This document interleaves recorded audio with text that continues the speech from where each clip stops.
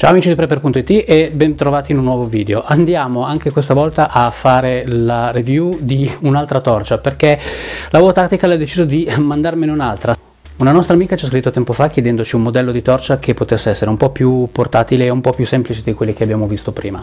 Non so se è scritto la WOTAC, non so se si sono sentiti o se è stata semplicemente telepatia, ma la WOTAC a questo punto prodotto la A3, che è la sorellina minore dei modelli che abbiamo visto in precedenza. Uh, è la sorellina minore perché guardandoli si notano un sacco di particolari del design che sono gli stessi, in particolare sulla prima parte dello chassis del corpo della torcia. La parte che cambia invece è la, quella da cui cui viene emessa la luce. È un po' più piccola, è un po' più maneggevole, è un po' più semplice da utilizzare, è potente esattamente quanto le altre sue due sorelle maggiori. Tra le differenze che ha però rispetto ai modelli che abbiamo visto in precedenza c'è il fatto che non ha l'accensione messa sul fondo, ma bensì con lo stesso pulsante che utilizziamo per andare a organizzare le modalità diverse di emissione, possiamo anche andare direttamente ad accendere e a spegnere la torcia. Questo la rende un attimino più facile da utilizzare eh, perché abbiamo bisogno di utilizzare utilizzare un, uno switch soltanto. Abbiamo una potenza di 600 lumen, abbiamo la possibilità di farla cadere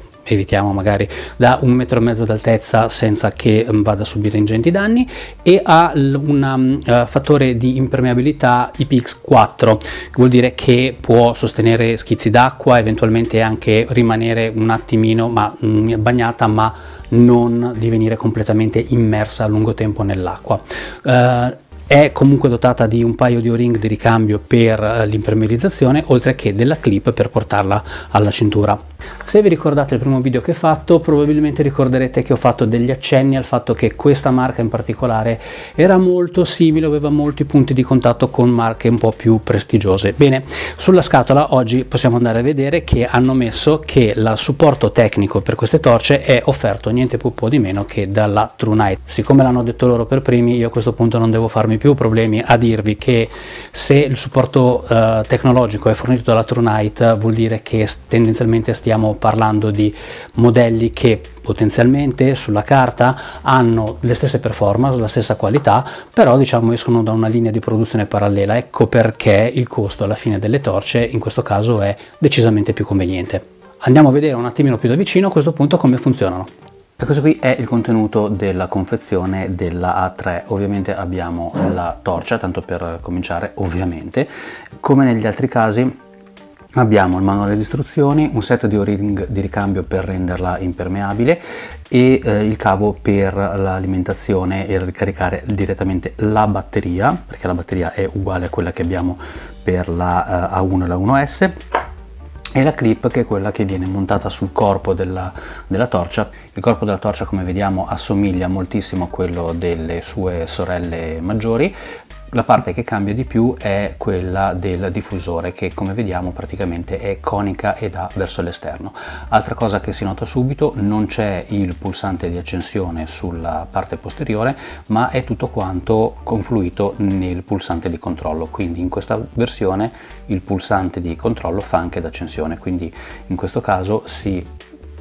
preme una volta per accenderla, si spegne e il modo per passare le diverse um, modalità le diverse funzioni è quello di continuare a tenere premuto, quindi tenendo premuto e um, lei fa tutto quanto il suo ciclo delle varie potenze, dopodiché se mi interessa ad esempio quello più potente lascio quando arrivo a quel livello lì, schiaccio di nuovo lunga pressione, voglio quella semplice e arrivo giù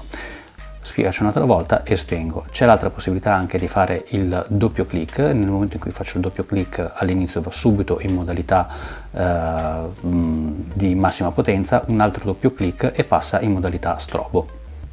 la parte del diffusore può scorrere leggermente avanti e indietro ok? Quindi se vedete già qua sul, sulla parte dietro sulla luce che proietta la differenza è quindi che questa qui è zoomabile cioè ci dà la possibilità di stringere il fuoco della, della luce o di allargarlo. Quindi a seconda della zona che dobbiamo andare a illuminare semplicemente andando ad agire su questa parte qua del diffusore è possibile andare a modificare il tipo di um, cono di luce che viene proiettato Anche in questo caso all'arrivo, quando mh, mm, la smontata prima volta sembra che non funzioni perché qua ci sarà un piccolo dischetto di plastica che basta togliere che serve per di fatto fare da isolante fra la batteria e il contatto posteriore. Io ovviamente l'ho già tolta. Anche in questo caso vi faccio vedere che la batteria è analoga a quella delle sue sorelle maggiori, quindi qui c'è l'attacco per ricaricare la batteria stessa direttamente. È una funzione eh, interessante, può piacere, può, alcuni si trovano meglio con eh, diciamo, il caricamento fatto direttamente dalla torcia,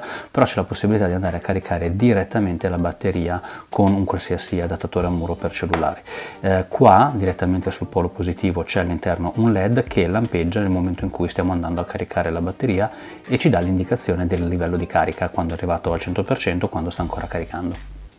Beh, come vedete l'utilizzo è molto semplice, sono molto versatili, hanno anche la capacità anche di regolare il fascio di luce, quindi ampliarlo e di restringerlo a seconda dell'utilizzo che dobbiamo farne, eh, però io per mettere veramente questa torcia alla prova ho deciso di darla in mano a uno di quelli che secondo me è uno dei prepper più promettenti che ho in circolazione in questo periodo e vediamo un attimino come se la cava.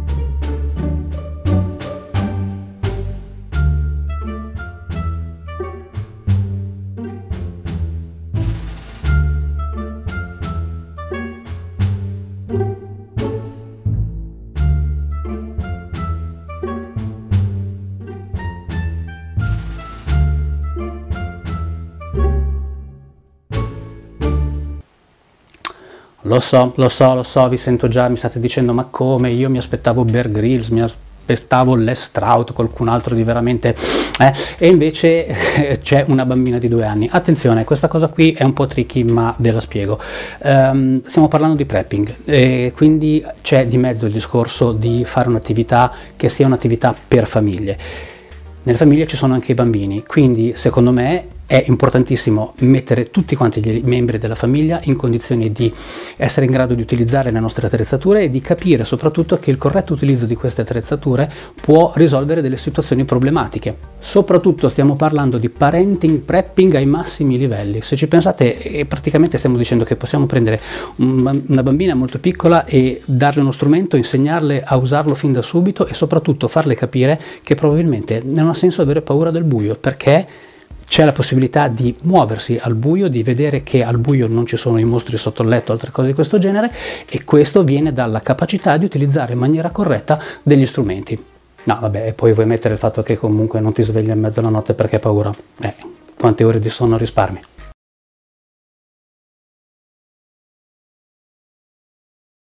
Bene, quindi abbiamo visto che la Octact S3 è una valida alternativa ad altri modelli sul mercato, è particolarmente conveniente e quindi alla fine uno dice perché andare a spendere più soldi in magari prodotti che fanno esattamente la stessa cosa. Mm?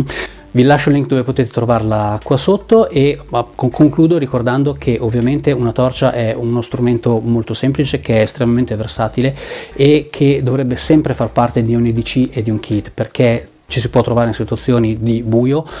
oltre che normalmente mh, durante la notte anche in situazioni quali ad esempio in metropolitana o altre situazioni del genere dove avere a disposizione una luce può fare veramente la differenza. Bene, anche per questo video è tutto, vi saluto e ci vediamo al prossimo video. Ciao!